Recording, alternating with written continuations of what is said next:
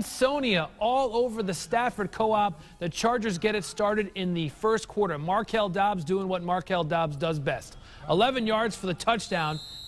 Two-point conversion good. It's 8 nothing Chargers. The Bulldogs come back. Colton Engel going up top finds Julian Rivas.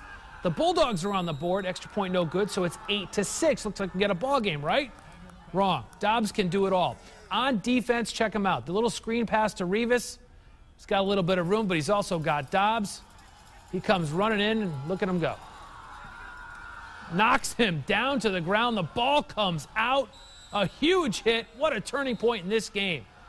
And then later they get more Dobbs again for a touchdown. 52 to 19. The Chargers going back to the Class S final for the 31st time. Who will they play?